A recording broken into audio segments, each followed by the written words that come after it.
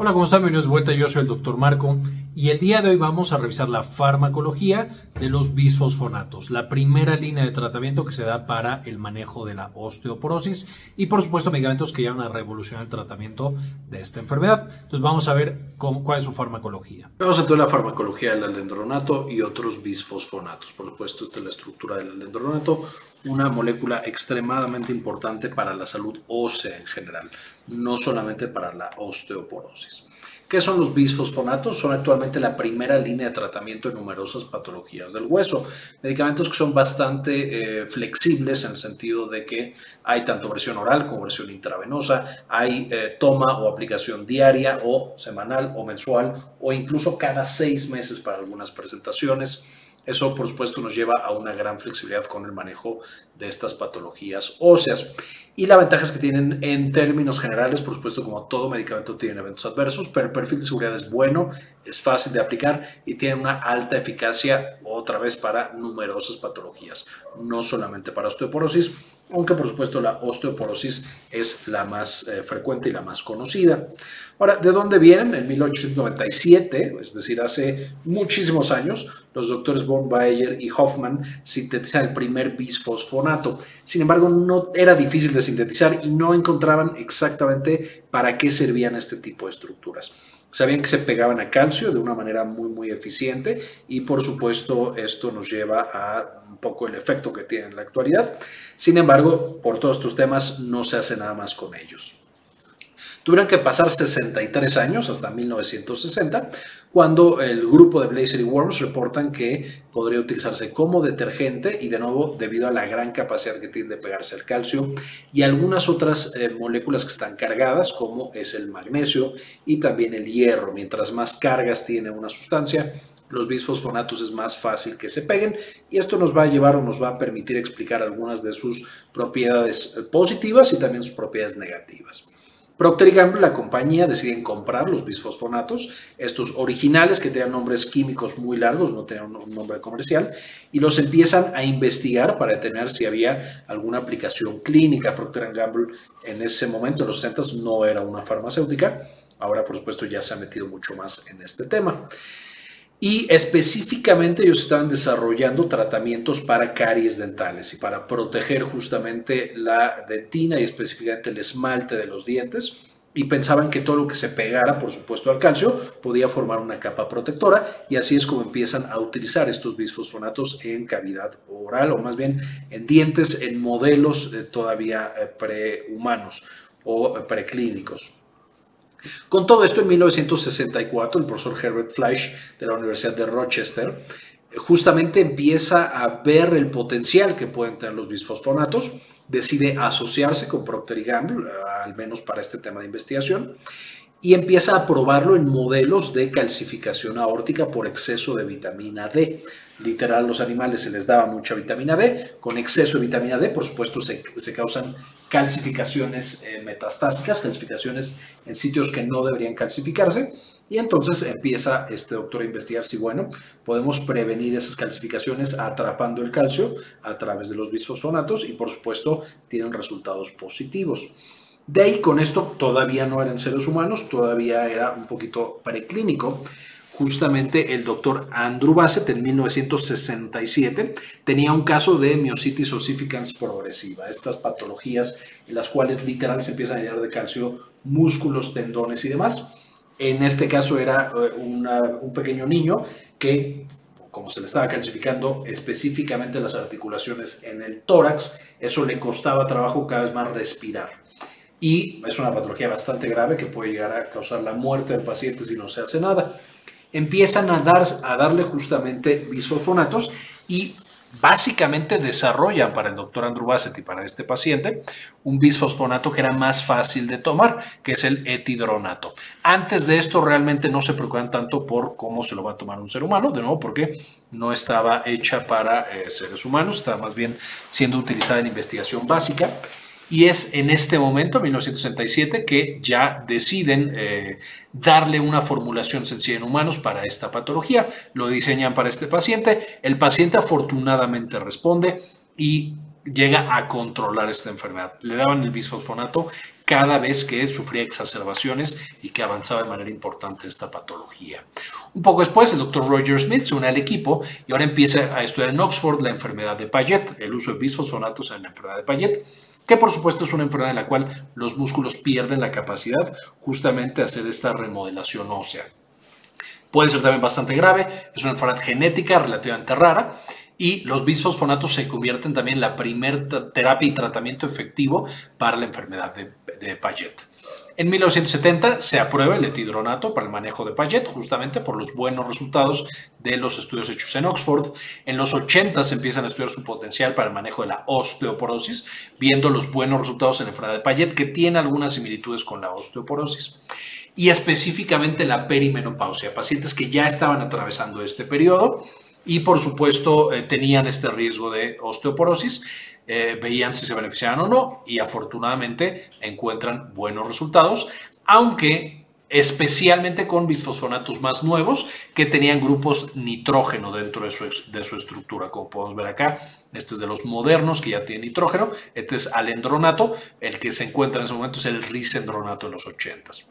Y a partir de ese momento, a partir de los 80s, eh, estos bisfosfonatos y especialmente los que tienen nitrógeno dentro de su estructura son los que más se utilizan para eh, diferentes enfermedades del hueso. De nuevo, casi todos los de nitrógeno son los que se utilizan para las patologías actualmente, aunque los no nitrogenados también pueden tener todavía sus indicaciones y sus usos. Eh, y esencialmente las diferencias son principalmente farmacocinéticas, cada cuando lo tienes que administrar, si es IV, si es oral o cómo es que se administra, aunque también pueden llegar a tener algunas diferencias en la farmacodinámica. Y en este momento es el, tratamiento de primera línea para muchas de estas patologías eh, óseas, especialmente la osteoporosis. Y aquí es osteoporosis no solamente asociada a la perimenopausia, sino también osteoporosis medicamentosa, por ejemplo, por consumo de esteroides. Se usa mucho en osteoporosis en enfermedades autoinmunes, etcétera, etcétera. Ahora, ¿cómo funciona? Quedamos que el hueso va a tener unas células que se llaman osteoclastos. Este sería un osteoclasto. Tendríamos también un osteoblasto. No lo voy a, poner aquí porque a pesar de que los bisfosfonatos pueden incrementar el trabajo de los osteoblastos, que sería la célula que tendríamos acá, que está generando hueso nuevo y pegándole el calcio. El principal mecanismo de acción de los bisfosfonatos es justamente sobre los osteoclastos, los que destruyen el hueso y ayudan a esa remodelación. La manera en la que los osteoclastos destruyen este hueso va a ser justamente a través, o uno de los principales pasos, es a través de una enzima que se llama farnesil pirofosfato sintasa.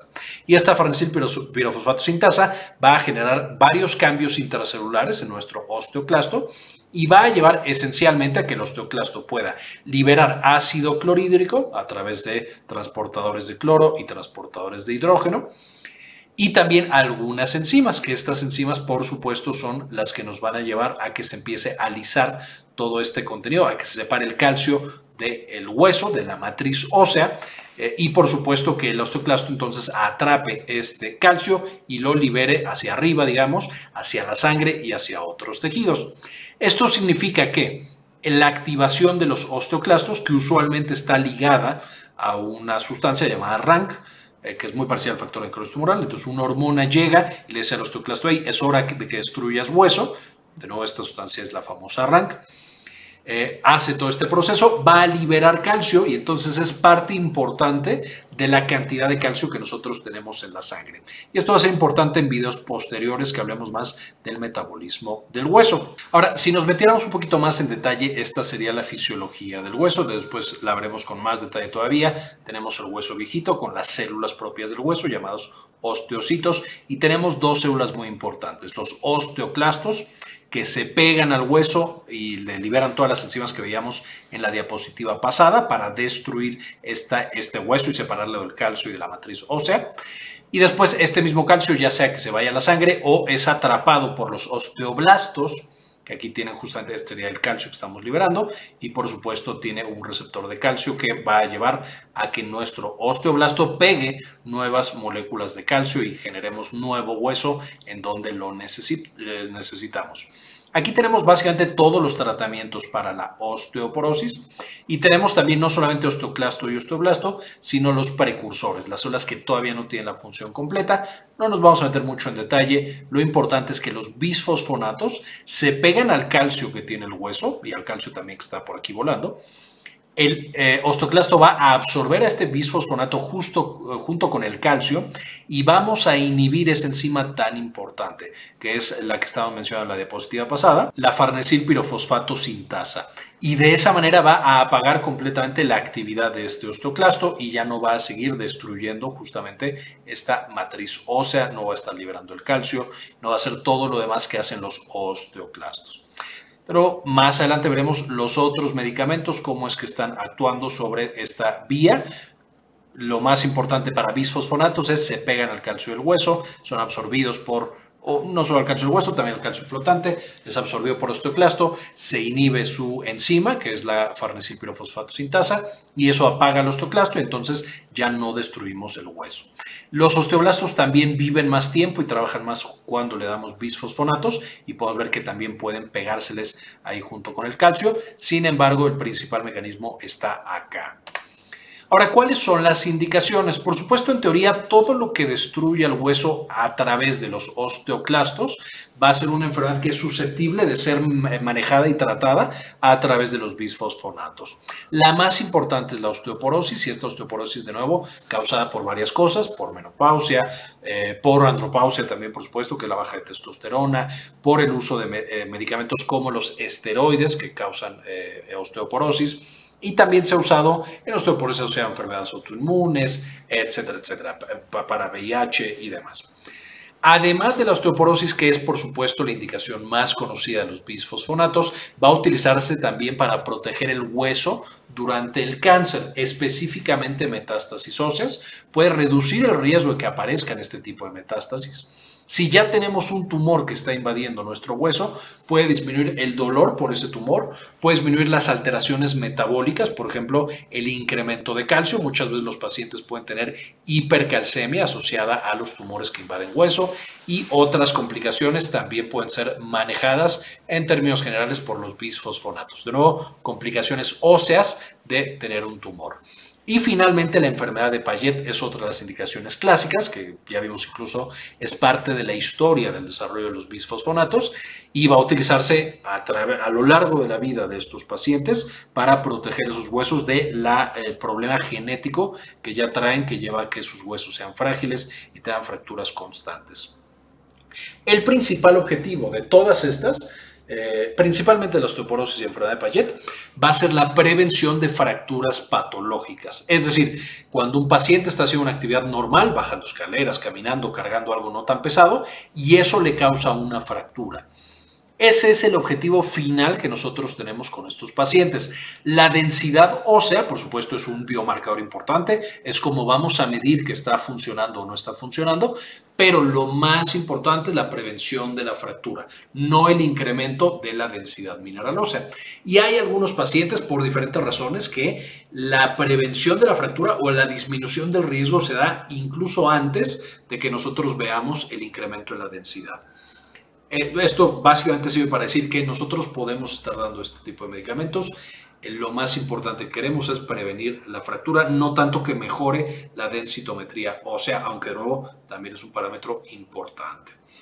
Ahora, ¿cuáles son los eventos adversos? Como este medicamento se pega muy fuerte con el calcio, puede tener varios eventos adversos, puede tener varias cosas. Lo más común por mucho son las alteraciones gastrointestinales y son medicamentos que son bastante irritantes para el esófago, para la primera parte del tracto digestivo, que es por supuesto donde tragamos todos los alimentos, el, primer paso hacia el resto del tracto gastrointestinal.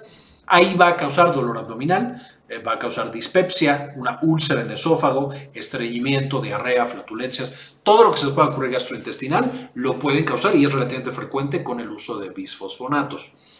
Y de hecho, una de las principales cosas que nosotros vamos a buscar prevenir es el daño a este esófago.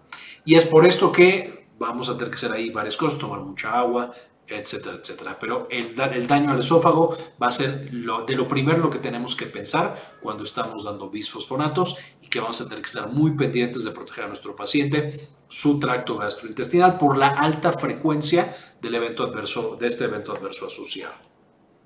Ahora, vamos a tener también unos eventos adversos bastante generales. Puede causar dolor muscular, un estado gripal caracterizado por fiebre, escalofríos, malestar general, eh, dolor articular, dolor de los músculos. Puede causar un rash, anemia, cefalea, cosas como muy generales que muchos medicamentos pueden causar. Usualmente estos no son graves y con la administración repetida va desapareciendo hasta que el paciente ya no los presenta afortunadamente.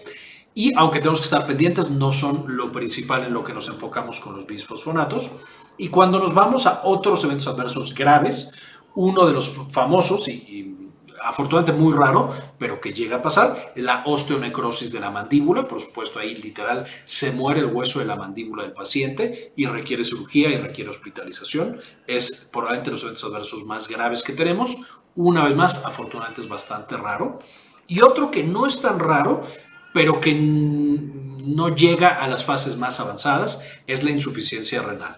Los bisfosfonatos frecuentemente se asocian con un decremento en la función renal. Este es el otro punto que sí vamos a tener que estar muy pendientes todo el tiempo en nuestros pacientes. El daño esofágico y el daño renal es algo que tendremos que estar monitorizando todo el tiempo que nuestros pacientes estén recibiendo bisfosfonatos. No quiero decir que los otros no sean importantes, pero por la baja frecuencia o por eh, lo leves que pueden llegar a ser, eh, los dejamos un poquito de lado y nos enfocamos mucho más en daño al esófago y un poco más gastrointestinal y la insuficiencia renal que hay que ir, eh, hay que estar checando. ¿Con qué no se deben de combinar? Y aquí, como siempre, no es que sea una contraindicación absoluta la mayoría de estos, simplemente si se combinan puede cambiar la absorción, pueden no absorberse o pueden cambiar y generar algunas interacciones nuevas específicamente con los bisfosfonatos, al pegarse tan fuerte a calcio y a otras cosas que tienen muchas cargas, si lo damos junto con suplementos de calcio, magnesio y hierro, eso puede prevenir la absorción tanto del suplemento de calcio, magnesio y hierro como del bisfosfonato. Eso hace que si nosotros, y en algunas eh, circunstancias tenemos que hacerlo, damos, por ejemplo, suplemento de calcio natural para un paciente con osteoporosis, y damos el bisfosfonato tienen que darse muy separados. Por ejemplo, uno en la mañana y otro en la noche. O por lo menos una o dos horas de separación entre el bisfosfonato y el calcio o el magnesio o el hierro. Si se dan juntos, se hace una bola en el estómago, no se absorben y entonces perdemos completamente el medicamento y también el suplemento. Importante que separemos. Lo mismo va a pasar con los aminoglucósidos, que tienen el mismo efecto, son muy afines al calcio, los eh, bisfosfonatos junto con aminoglucósidos, que son por supuesto estos eh, antibióticos, no se deberían combinar porque van a prevenir su absorción. Una combinación no tan frecuente, pero bueno, se puede llegar a dar. En tercer lugar, los diuréticos de asa y los medicamentos nefrotóxicos, un poquito parecidos. Los diuréticos de asa ya veíamos en el video anterior de medicamentos que causan osteoporosis, que por supuesto les voy a dejar el enlace en la parte de arriba para que lo puedan checar, pero estos son medicamentos que pierden una gran cantidad de calcio en la orina, es parte de los, de los mecanismos que tienen. Los ahorradores de potasio también pueden perder calcio, pero mucho menos que los diuréticos de asa. Eso hace que, y ahorita lo vamos a ver, cuando nosotros tomamos bisfosfonatos, quedamos que el osteoclasto ya no funciona tanto y entonces no puede agarrar calcio del hueso y pasarlo a la sangre. Ese calcio queda atrapado en el hueso, lo cual es bueno, por supuesto, pero esos pacientes eh, va a bajar el calcio que tienen en sangre. Muchas veces esta hipocalcemia va a ser asintomática. Sin embargo, si nosotros combinamos el bisfosfonato que baja el calcio en sangre con el diurético de asa que también baja el calcio en sangre, eso nos puede llevar ya a una hipocalcemia más severa que cause complicaciones. Entonces, una vez más, el diurético de asa es el principal responsable, pero otros diuréticos también están incluidos en esta sugerencia de combinar con mucho cuidado.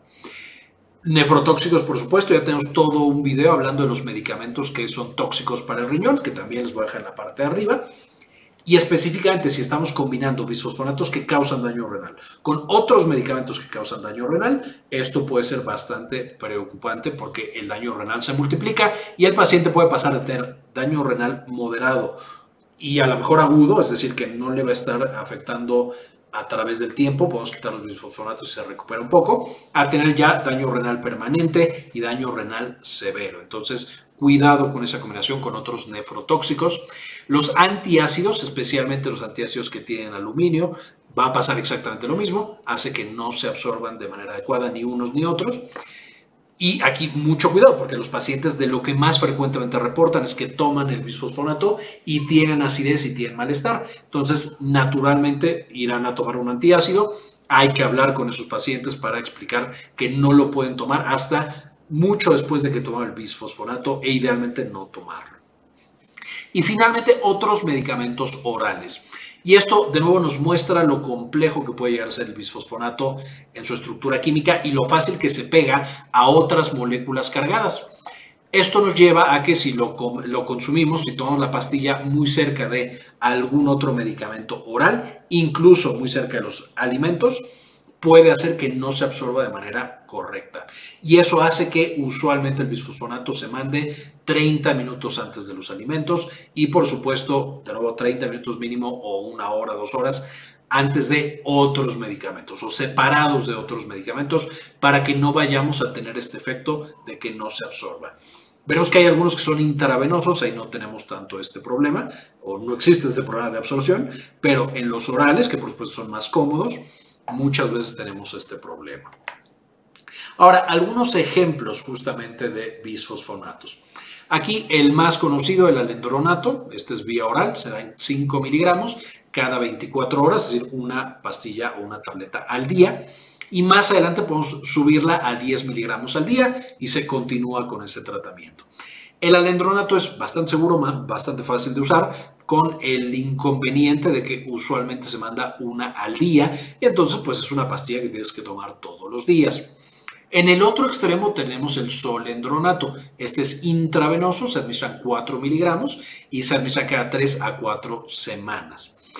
El solendronato, todos también importante porque a lo mejor lo encuentran así, pueden encontrarlo como alendronato, solendronato o como ácido alendrónico y ácido solendrónico. Esto es una propiedad química que tienen los bisfosfonatos, son exactamente lo mismo, solamente lo que les están diciendo es si tiene el hidrógeno o no porque está diluido en agua. Una vez más es básicamente lo mismo. El solendronato, como nosotros lo inyectamos intravenoso, el paciente no lo puede suspender entre una administración y otra. Va a pasar un mes con solendronato en la sangre y va a pasar con un mes con el solendronato, previniendo que el calcio salga de sus huesos a la sangre y entonces puede tener hipocalcemia y puede estar generando daño renal todo ese mes.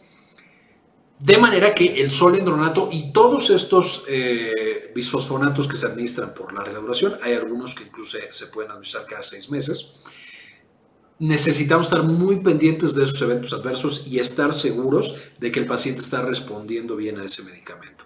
Si creemos que el paciente tiene muchos factores de riesgo, entonces preferir uno vía oral que podemos suspender inmediatamente cuando vemos que las cosas se complican y eh, el paciente vuelve a no tener el medicamento en sangre. Aunque, por supuesto, en pacientes que tienen muchísima molestia gastrointestinal, problemas esofágicos, úlceras, tenemos esta buena opción de un eh, bisfosfonato intravenoso que no se administra de manera tan regular y tan frecuente.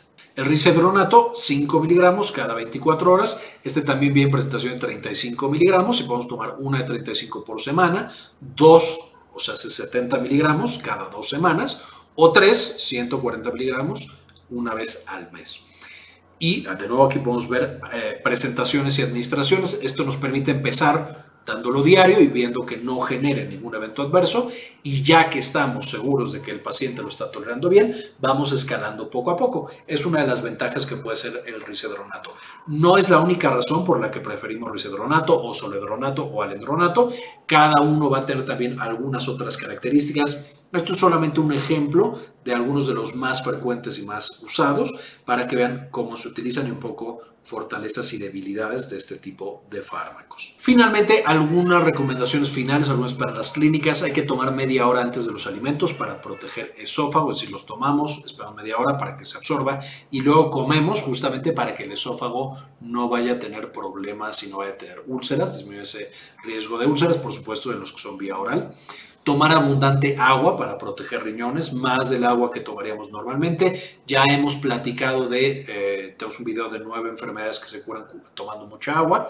Y justamente la nefroprotección entraría dentro de esas. No la mencionamos allá, pero el proteger a los riñones cuando estamos tomando una sustancia potencialmente nociva también nos amerita que tomemos mucha agua, 3 litros por ejemplo, para proteger a ese riñón y asegurar que no nos esté dañando los riñones especialmente con todos los bisfosfonatos, pero especialmente con los que son intravenosos, con los que duran mucho tiempo en sangre, vamos a considerar dar un suplemento de calcio de 500 miligramos y tal vez también de vitamina D, 400 unidades internacionales por lo menos. Y esto lo que nos va a facilitar es que uno, el riesgo de hipocalcemia por supuesto disminuye, ya no tenemos un paciente que le baja el calcio de manera importante porque le estamos suplementando con calcio extra, aunque de nuevo hay que recordar, el calcio tiene que darse muy separado del bisfosfonato porque si no, no se absorben de manera adecuada. Y la vitamina D que por supuesto también está protegiendo por otro lado a ese hueso. Aquí el único tema es, debemos ser cuidadosos de no dar demasiado y entonces que ahora tengamos hipercalcemia y que el paciente tenga demasiado calcio y eso lo lleve a tener más problemas. Y, como ya habíamos mencionado, los bisfosfonatos pueden causar hipocalcemia y alteraciones del fósforo. Esto a lo mejor lo encontramos en sangre. Si solo estamos dando el bisfosfonato y el paciente no tiene otros factores de riesgo y se siente perfectamente bien, puede ser solo un hallazgo de laboratorio. Eh, puede ser también, por supuesto, que ya le empiece a generar eventos adversos. Y como pruebas eh, específicamente de seguimiento, evidentemente cuando damos bisfosfonatos, especialmente al principio, pero también ya al principio mucho más frecuente, pero ya en la terapia crónica, eh, en un seguimiento un poco más espaciado, evidentemente tenemos que estar haciendo pruebas de electrolitos para ver que el paciente no esté demasiado bajo, luego de calcio, de fósforo, de algunas otras. Eh, anemia, por supuesto, también, que a veces tendremos que dar hierro, y tenemos que estar monitorizando la función renal a través de pruebas de función renal. Por supuesto que son las pruebas estándares, no hay pruebas especiales de función renal para bisfosfonatos, son las mismas pruebas de función renal que usamos para un paciente cualquiera que queremos evaluar su función renal. Básicamente esta es la información que quería presentarles el día de hoy. Antes de irme, por supuesto, quiero agradecer a algunas de las personas que han decidido apoyar el canal con una donación mensual de uno o de dos dólares al mes. Y este video dedicárselo a estas personas que ustedes ven aquí, David Sosa Mesa, Bajo la Lupa, doctora Susana Vidal, Enrique Segarra, Sandy Oliva, Gilberto Argueta, doctor Mineralín, Yami Pascasio, Rodrigo Álvarez, Luis Ramírez, Abraham Santana, Héctor Lagos, Aldo Novelo, Laura Elena Barojas, José Luis Tobar, David Semayo, Carlos Luis, Luis Ernesto Peraza, Juan Rodríguez, Cindy Maya Bobadilla, Alejandro Pardo, doctor Mineraldín y Javier Mejía. Muchas gracias por el apoyo que nos brindan cada mes y permitir hacer este tipo de investigaciones y compartirla con todos los demás. Les dejo al final la bibliografía, la que saqué la información para este video, por supuesto con el foco especial en el alendronato, soledronato y risedronato, para que puedan meterse, estudiar un poquito más y ya saber a la perfección cómo se utilizan estas moléculas que son tan importantes para nuestros pacientes que padecen enfermedades de los huesos. Quería comentarles también que ya tenemos activada nuestra clínica en línea, Clínica Cares. Eh, nos pueden encontrar en clinicacares.com.mx para agendar alguna consulta. Principalmente atendemos los temas de salud de la mujer y también, por supuesto, consulta general. Si tienen alguna duda, alguna consulta, aquí en clinicacares.com.mx nos pueden encontrar. Muy bien, esto fue todo por el video, espero les gustara, le entendieran y ya sepamos cómo manejar de una mejor manera los bisfosfonatos. Gracias por ver hasta este punto del video y como siempre, ayúdenos a cambiar el mundo, compartan la información.